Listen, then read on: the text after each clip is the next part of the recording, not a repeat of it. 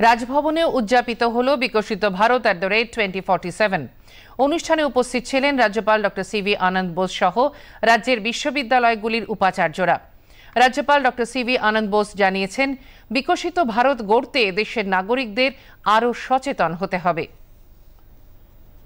आत्मनिर्भर भारत रीबूट और रीजी करने के लिए तैयार है विकसित भारत की जन्म के लिए हम तैयार हैं रास्ता लंबा है लक्ष्य दूर है।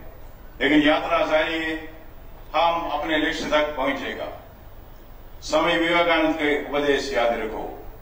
उठो, जागो और तब तक मत रुको जब तक लक्ष्य व्याप्त न हो जाएगा। इससे प्रेरित होकर भारत अपनी प्रगति की ओर अग्रसर है।